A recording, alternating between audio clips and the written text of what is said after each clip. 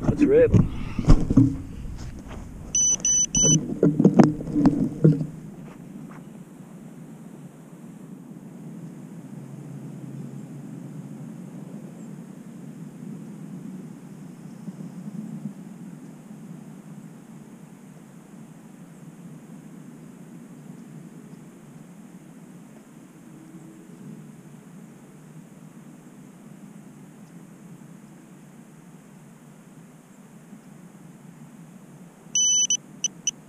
You.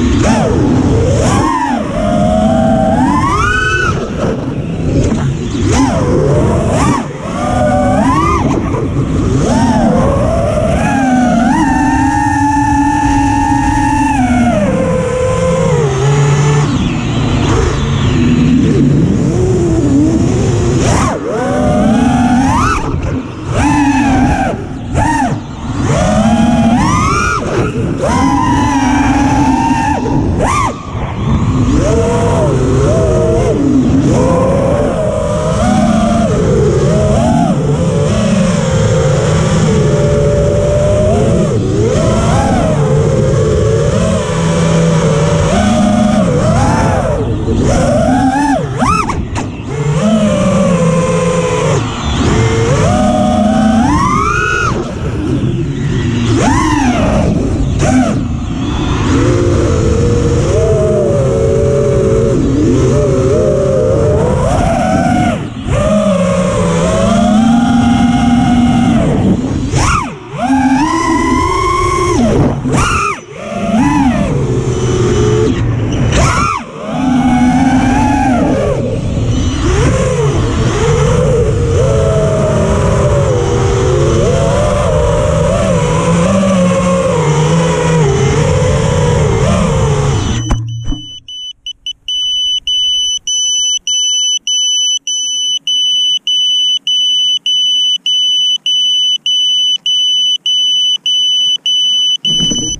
A little bit of a wild inning.